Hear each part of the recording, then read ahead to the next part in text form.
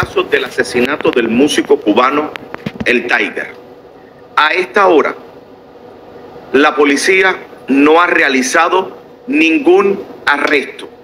Repito, la información que ustedes están viendo en redes sociales sobre un posible arresto de la persona de interés, que repito, es persona de interés en este caso, aún no ha sido nombrada, pues una persona eh, acusada, una persona sospechosa de ser el asesino, que es este señor, Damián Valdés Galloso, a esta hora él sigue siendo buscado por las autoridades para interrogarlo.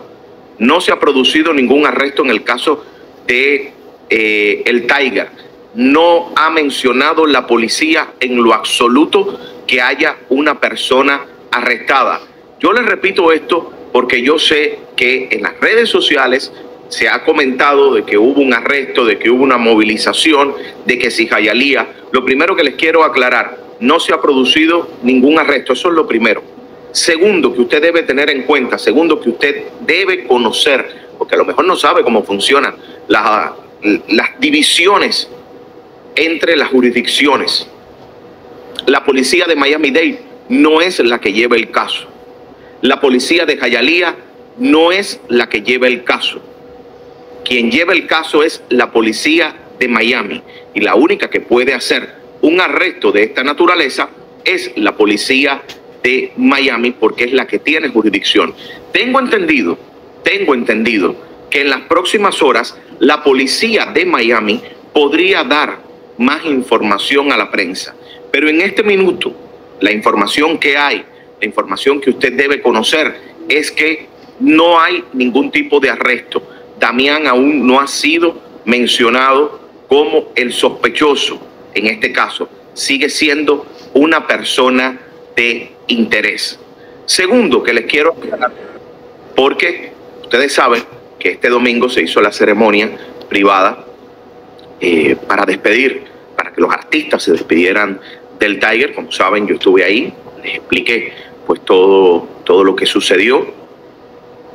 Al día de hoy, y esto es jueves, 2 de la tarde, las cenizas del Tiger continúan en el sur de Florida. Porque yo sé, y lo conversé con el equipo del Tiger, que muchos tras una publicación que hizo Teresa de que iba en camino las cenizas del Tiger hacia Cuba. No, las cenizas del Tiger siguen aquí. Se espera que en las próximas horas tanto Teresa como Jorge Junior lleven sus cenizas hacia Cuba. Los que siguen a Teresa saben que ella ya publicó que a partir de ahora entre el equipo legal Jorge Junior, pues se encargan del legado musical del Tiger y que evidentemente eso queda en manos del el aparato legal y de Jorge Junior para sus hijas y el futuro de sus hijas. Ahora, aclaración, las cenizas del Tiger siguen en el sur de Florida, se esperan que vayan eh, hacia Cuba y sean llevadas por Jorge Junior, como él mismo me dijo, en las próximas horas. Sobre el caso criminal la policía de Miami se cumplen tres semanas de este asesinato. Recordemos que el Tiger fue encontrado con un disparo en la cabeza hace precisamente tres semanas. Moriría unos días después en el hospital Jackson Memorial. Nunca pudo salir del hospital, a donde llegó en una condición extremadamente crítica. La policía sigue buscando a la persona responsable.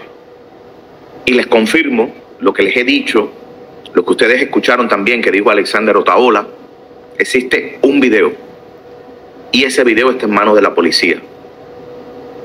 Y la policía está trabajando sin descanso. Y cada vez que hablo con mis fuentes en la policía, me dicen, no, las personas se creen que no estamos haciendo nada, pero sí estamos haciendo. Y llevar a una persona ante la justicia, acusarlo de un, de un homicidio, es una acusación muy seria para la cual se requieren todas las evidencias para que se firme esta orden de arresto para poder ejecutar. Por eso, hasta este momento, hasta este momento, la única persona de interés es Damián Valdés Galloso, que se busca para, para preguntas. Una de las fuentes policiales me dijo, solo piensa en algo, Llevamos casi tres semanas. Se tienen, y lo dijo el jefe de la policía, que yo se lo pregunté en la última conferencia de prensa que él ofreció frente a la ciudad de Miami. Tenemos mucha evidencia física y evidencia digital. ¿Por qué no se han dicho otros sospechosos? ¿Por qué no se han mencionado más personas y solamente se busca Damián Valdés Galloso para preguntas? Eso te da la idea y te da la dimensión de qué camino tiene esta investigación.